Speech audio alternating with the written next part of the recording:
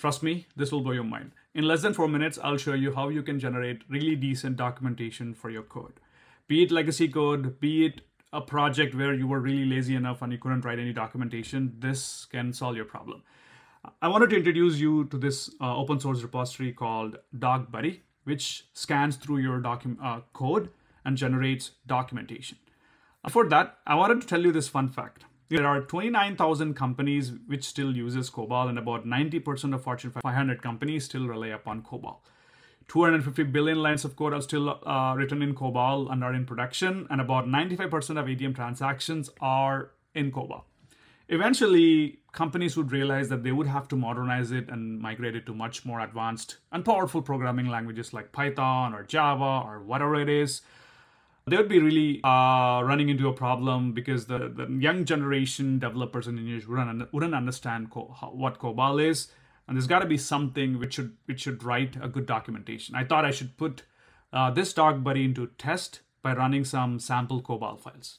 To test that, I've generated about 20 COBOL files here. And if you read the names of these files, um, these are files which kind of simulates the sample financial application. If you want this sample code, just drop me a comment.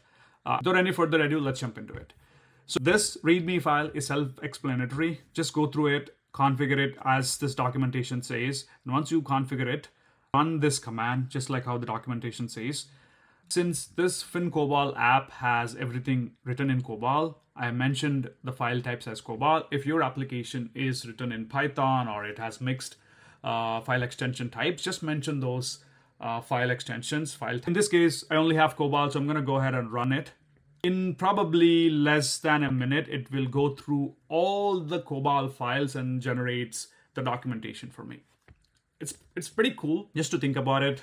I was testing it for other programming languages too. It ran seamlessly for Python, JavaScript, and markup languages like HTML. It did it did pretty well. If you if you observe, there is a new file that just got generated. It's called report audit logs.cbl api doc.md. Let's spend like 30 seconds just to go through what exactly it spit it out. It says it's a COBOL uh, program. It's designed to process audit logs from a file, display them on screen, and indicate successful generation of audit logs. The program re reads records sequentially from an input file, displaying each record's timestamp, action type, user ID, so on and so forth. And it goes through line by line. As you can see, this is actually markup. If you push them into any version control uh, software like GitLab or GitHub, you would be able to read it with, you know, indentation and, and, and all that good stuff. Uh, I mean, it does really good job. I mean, it gave me a good understanding of what this uh, program does and what are all the things that that's in this COBOL file. As you can see, it's actually generating documentation for each and every single file that's pretty neat. You'd probably be asking uh, now, like, how much would it cost if I were to use my own large language model?